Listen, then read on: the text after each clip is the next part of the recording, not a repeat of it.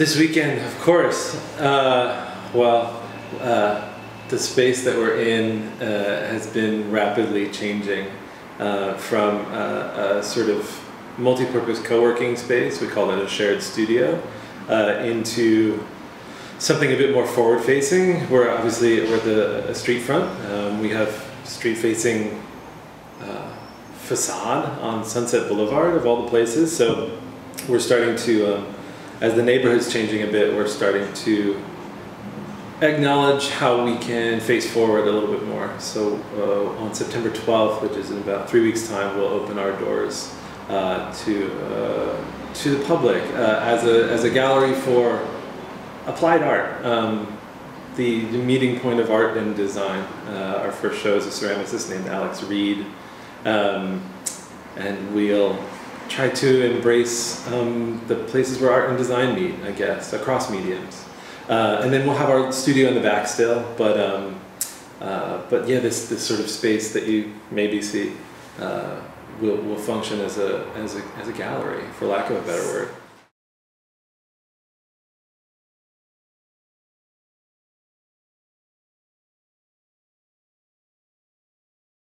Uh, when I lived in New York, it was uh, it, almost entirely graphic design and, and, and type design.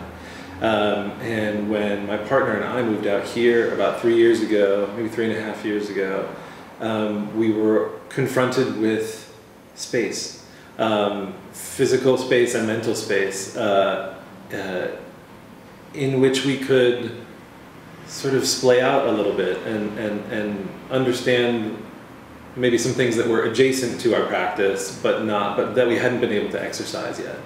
Um, and so we sort of, uh, she comes from an interior design and furniture design background. She went to woodworking school and interior design school, among other things. So she and I started making some, some things together. Um, and whereas I'd been able to sort of like express some physicality in publications and books and things like this previously, never had we been able to make a bookshelf or a bookend or, or a chair or a stool or these other things. Uh, and so, um, and we also had the space for it, the actual um, domestic space for it, whereas in New York, uh, we had been sharing a, a, loft apartment, so there was always sort of, um, uh, there was always a bit more of a communal uh, aspect, for better or for worse.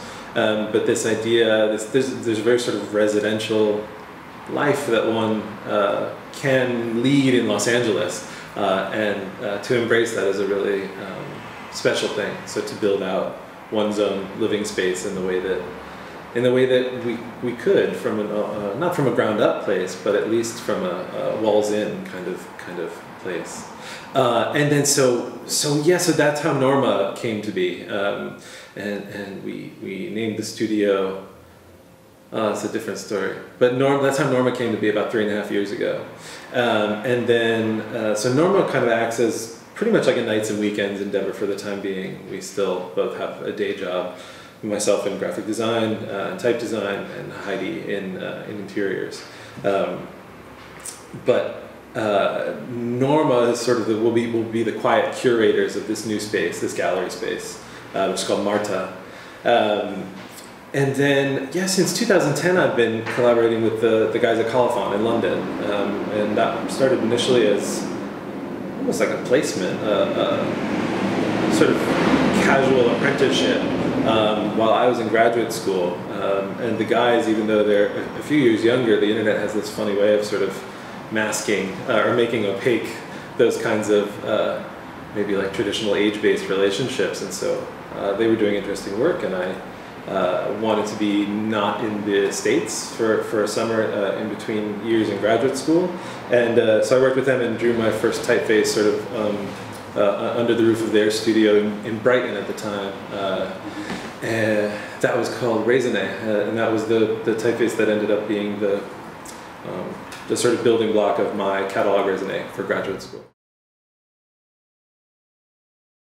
Yeah, absolutely. And so I, I probably it's a it's a very unsteady clip of about um, maybe publishing one typeface every two years or so, um, and then type design also factors into my graphic design practice uh, in a sort of more casual um, and project specific way.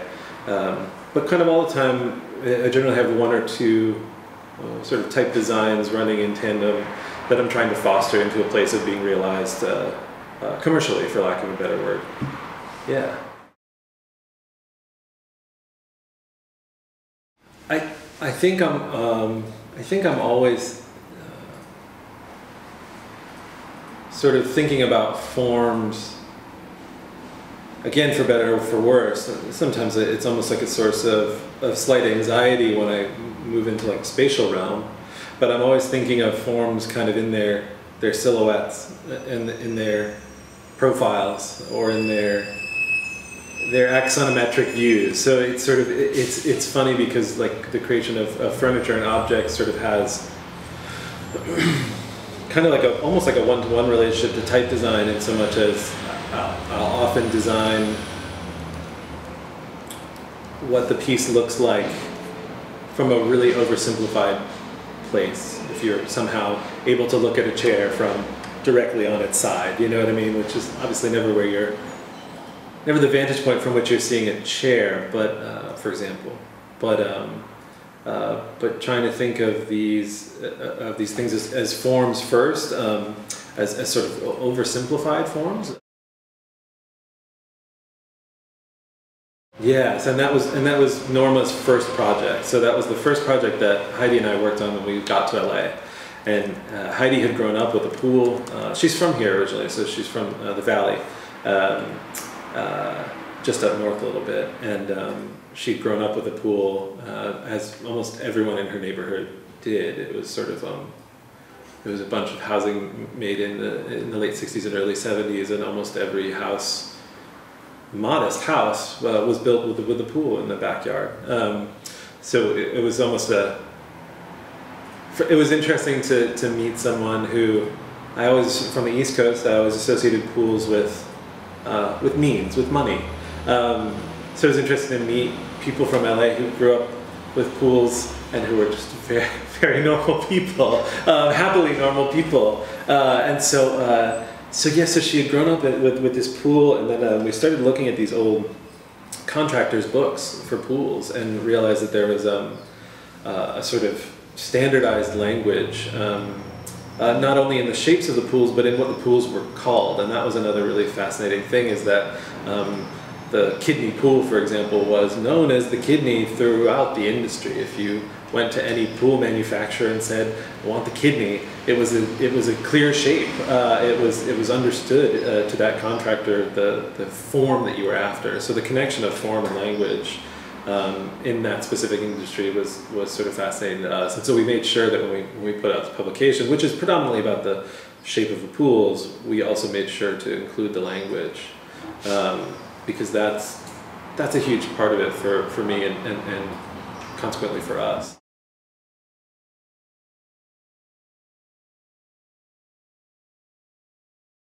Um, I think it has to it has to do with the fact that I'm always getting sort of happily pulled in a number of different directions, and so I'm. I'm maybe again. I keep on using this phrase for better or for worse. I'm sort of um, uh, yeah, never able to to sort of um, or rarely able to kind of like foster one thing through from beginning to end before I get sort of happily distracted by by by something else along the way. Um, and often that thing is in an entirely different medium or, different sort of or demands sort of a different um, publication method a different means of putting that thing out into the world. Um, um, it could be as simple as an as an Instagram post you know what I mean? But but but I keep on getting pulled in different um, yeah ha happily pulled in all these different directions uh, which leads to uh, an overall sense of inefficiency, but also a, a, an overall sense of, of uh, contentedness and exploration uh, that, yeah, I don't know, it seems to satisfy. Um, there's a through line between all these things, mm-hmm. but but but they take really different forms, and um, uh, without making it too much about LA specifically, because obviously, like. Um, not contingent on a location, but somehow it feels very. Um, I don't think that would be happening as regularly if, if we weren't where we are. Um, it's a city of, of um, like hyphenates, like people who call themselves, or, or slashes, right? A, a model slash actor slash uh, barista or, or something, right? Um, they, they do a lot of things, um, and many of them do a lot of things well. Um, but it's it's a sort of it's a town of freelancers and free agents. Um, it's not a town of sort of people who hold one job for 15 to 30 years or something like this. It's a town of uh, people who are really nimble and people who are really um, open to being, I can't for better for worse, open to being distracted by something else that they find uh, intriguing or compelling or meaningful.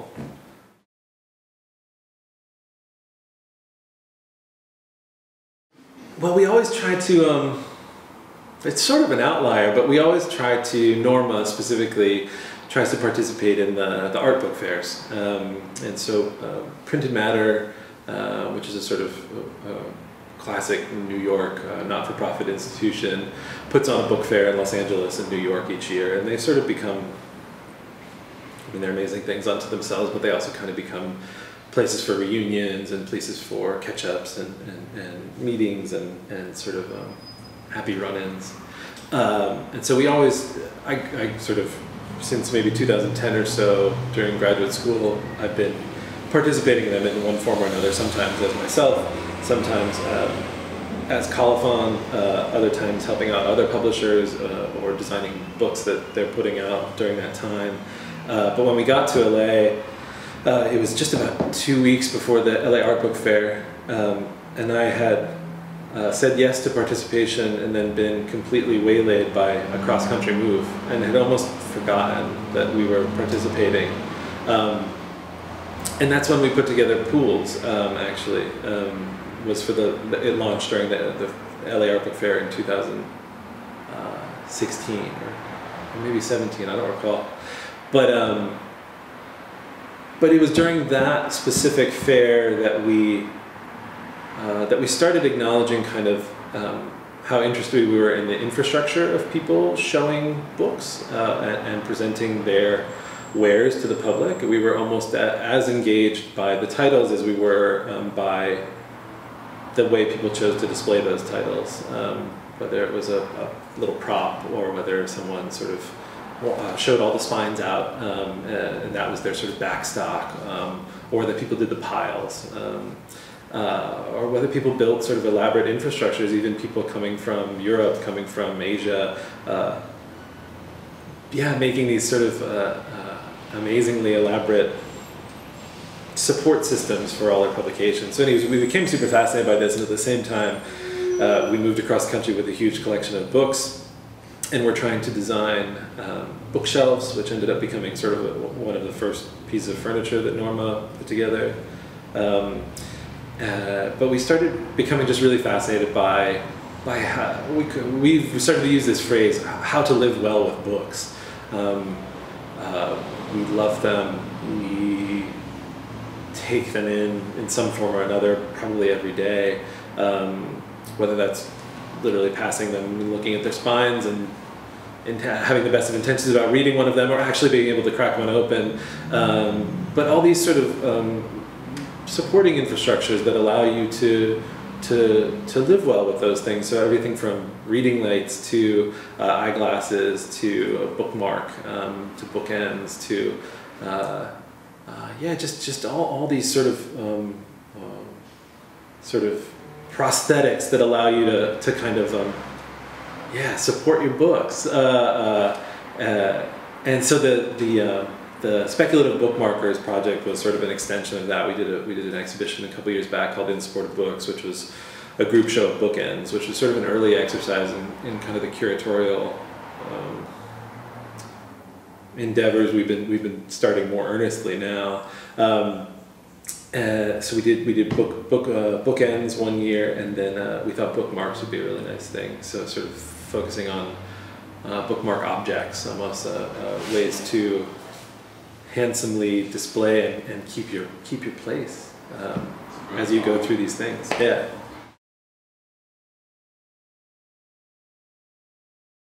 I grew up in Connecticut, in central Connecticut. Um, I lived for one year in the Virgin Islands which was strange, but really, really pleasant. That was before college, uh, as we call it.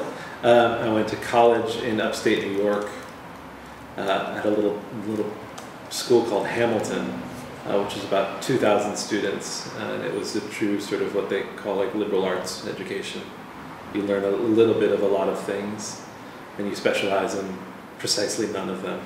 Um, but I studied uh, uh fine art and, uh, and, and, writing there. Um, and so those those two things sort of came together to, to form my understanding of graphic design, which is a term that literally wasn't brought up once during my undergraduate education. It wasn't sort of something that the school traded in. Um, uh, and from there, I went to uh, I went to work in New Hampshire for a few years, uh, and then I found myself in graduate school at Yale, and so I was back in Connecticut for three years there. Happily, it was a, it was like a it was a pretty amazing time, and there's just sort of um, intensive uh, uh, uh, first year course that, that one can opt into that sort of simulates four years of graphic design undergraduate education in one year. And then you sort of start your master's program. So I did that uh, and, uh, and graduated from there in 2011. And there's a sort of almost like gravitational pull from that place to New York City. Um, it's about two hours away by train. Um, and so yeah, so so so I sort of did that that very easy migration to, to New York, and I started teaching uh, at a couple different institutions down there. And that lasted about five years. And when I met my partner, she was sort of on her way towards thinking about moving back to Los Angeles where she had grown up. Um, her parents are out here and she's an only child, so she was sort of looking to, looking to get back to that. And we sort of collectively started feeling a little bit of angst towards New York. Um, it was before Donald Trump, but um, but ultimately that was sort of like the nail in the coffin for New for New York for us. I don't know why, but it was this thing. So we left in uh, uh, early 2016. We arrived here in February, and then uh, and then later that year, sort of everything kind of went to went to hell, or sort of. Other people might argue differently, but but I, I feel like they went to hell, uh, and and then and then it was weird. We sort of like felt like there was this like kind of dark um, cloud over New York, which is not fair to New Yorkers and not fair to New York because obviously it's still thrives and does great things as a city, and I'm, we're overjoyed every time we have a chance to go back. But it's strange feeling it from afar. There's very little, um, almost almost interest, which feels sort of rude to say, but I, I have very little interest in New York right now. I don't know why, but I think part of that is because Los Angeles is. Um, it's just very satisfying, uh, personally, professionally, infrastructurally, culturally. It has, it acts as a really interesting foil to New York, almost like a yin and yang. Um, there's a reason that they're kind of like sister cities, but um, but they, I, I, feel like they fill in each other's gaps. They offer things that the other one sim- like almost simply does not in some cases. I'll make it just like very, um, very real world in a way, um, uh, because there's a, there's a couple like ways that I have come to measure their differences. Uh, the first is kind of like having um, an agency of mobility here, um, and that has to do with the automobile, uh, which obviously there are uh, systematic and environmental issues with uh, the automobile. It would be foolish not to not to say that uh, or not to acknowledge that. But the automobile also it offers this this like really dumb American freedom of being able to pick up and go when you want and how you want. Um, you almost had to plan spontaneity in New York. If you wanted to get away, you had to book a train ticket, book a flight, um, and you had to really sort of several weeks or months in advance kind of plan to escape. Um, and having the, the sort of freedom of being able to wake up on a given day and say I would like to go, I would like to go somewhere. Um, uh, having an automobile here in Los Angeles sort of um, it encourages that sort of exploration or or freedom, and it's it's so uh, it's so so sort of like